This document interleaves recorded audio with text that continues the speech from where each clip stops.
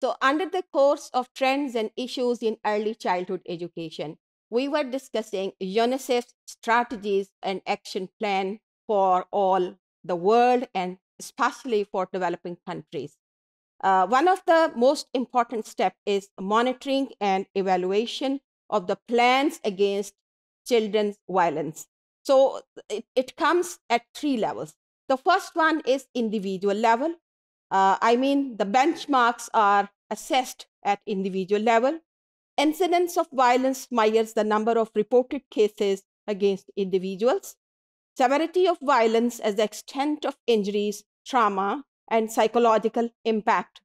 So individual level पे सबसे पहले ये देखा जाता है कि कितने ऐसे केसेस जो हैं वायलेंस के वो रिपोर्ट हुए हैं फिर ये कि वो वायलेंस की जो इंटेंसिटी थी या शिद्दत थी वो कितनी थी ये सब मॉनिटर किया जाता है ताकि ये पता चले कि बच्चों के खिलाफ जो वायलेंस के केसेस हैं, उनको कंट्रोल किया जा सका इन स्ट्रैटेजीज की बदौलत या नहीं। So access to support services evaluates the availability and utilization of support services as medical legal and social so जो सपोर्ट सर्विसेज़ हैं बच्चों की, कितनी उनको एक्सेस थी और कितना उन्होंने उसको अवेल किया और ये सर्विसेज़ उनकी बच्चों के लिए जो वायलेंस थी उसको कम करने में कितना किरदार अदा कर सकें। So changes in attitude and belief monitor changes in attitude and belief related to violence अब ये जो एटीट्यूड और बिलीफ्स हैं that's about parents and children as well and educators जो जो स्टेक होल्डर्स हैं, उनके एटीट्यूड्स क्या बदले हैं कि नहीं? वायलेंस को वायलेंस समझ रहे हैं या नहीं? और अगर समझ रहे थे तो कितना कंट्रोल कर सके और क्या किया उन्होंने इसके लिए? सो so, जो कम्युनिटी लेवल पे मॉनिटरिंग है उसमें क्या देखा जाता है कि community awareness and knowledge access different forms of violence consequences and support कि भाई पूरी कम्युनिटी मिल के ये देखेगी कि वायलेंस के केसेस क्या हो रहे हैं या नहीं हो रहे कितने हो रहे हैं उनको कितना कंट्रोल किया जा सका है उनके नतज क्या हैं या उनके नतज को कम करने के लिए किस तरह से बच्चों को और उनके वालदेन को सपोर्ट किया जा सकता है?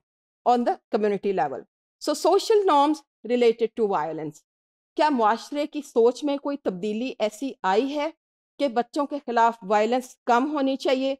या उनको ये पता चल गया है कि वाकई कुछ ऐसे एक्ट हैं जिनको अब तक वो वायलेंस नहीं समझते थे और अब उनको पता चला है कि वो वायलेंस है? So community mobilization evaluates the efforts of the community to mobilize and action against violence. तो कम्युनिटी ने उसके लिए किया क्या है उस अवेयरनेस कैंपेन को बढ़ाने के लिए एक्सटेंड करने के लिए अब तक क्या किया है कैसे उन्होंने डिफरेंट ऑर्गेनाइजेशंस को मोबिलाइज किया है कुछ एक्शन लिए हैं और फिर उनके नतज क्या निकले हैं And finally, they monitor at the system level legal and policy frameworks, assess the adequacy and effectiveness of legal policy frameworks.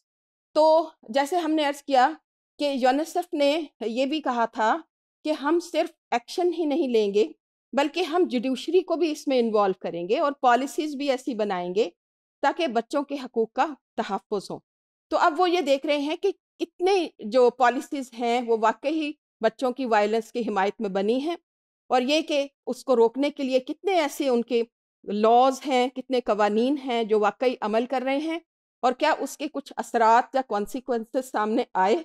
उससे कोई वायलेंस के केसेस कम हुए? Then service delivery monitor availability accessibility and quality of service और वो जो हम service दे रहे थे बच्चों को आ, वो पेरेंट्स की तरफ़ से भी थी वो उनके एजुकेशनल इंस्टीट्यूशंस की तरफ़ से भी थी वो हेल्थ केयर इंस्टीट्यूशंस की तरफ़ भी थी वो जुडिशरी की तरफ़ से भी थी एडवोकेसी की तरफ़ भी थी कि किस तरह से कवानीन उनके हिमायत में हैं। ये सब सर्विसेज़ तक बच्चों की एक्सेस है भी कि नहीं? और अगर है तो उन्होंने कितनी हद तक उनके मसाइल को हल किया और क्या उसके नतज निकले हैं? सो so, बहुत से ऐसे इंडिकेटर्स बनाए जाते हैं जिनके थ्रू ये सारा सिलसिला मॉनिटर किया जाता है।